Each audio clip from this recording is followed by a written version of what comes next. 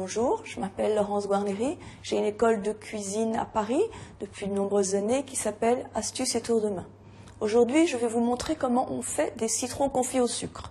Nous avons besoin d'une casserole, d'un couteau, de sucre en poudre, d'une brosse qui ne sert que pour brosser les légumes ou les agrumes, et de trois citrons. Alors j'ai pris trois citrons, je les ai brossés sous l'eau bien chaude pour enlever toutes les traces de cire, et on va enlever les deux parties extrêmes pour enlever le maximum de blanc. On fait des rondelles d'à peu près un bon centimètre, un peu, un peu épaisses, et je les pose directement telles quelles dans la casserole. Donc mes citrons sont coupés, j'ai du sucre en poudre, je vais le verser dessus.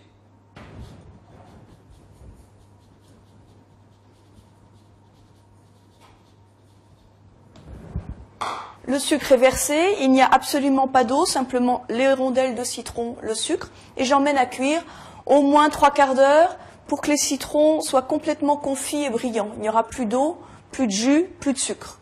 Donc ils vont cuire à peu près trois quarts d'heure, sans couvercle, pour que le jus de citron s'évapore complètement, que les citrons, les tranches deviennent très très brillantes et que l'on voit vraiment qu'elles sont confites.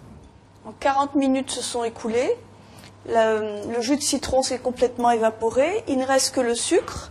Donc nous allons les laisser refroidir, telles quelles dans la casserole, et ensuite nous pouvons les utiliser pour faire une sauce au citron pour faire aussi bien même euh, une tarte au citron, c'est-à-dire qu'on peut l'utiliser pour du salé ou du sucré.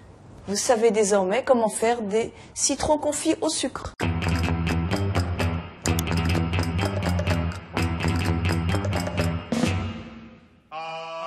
なるほど。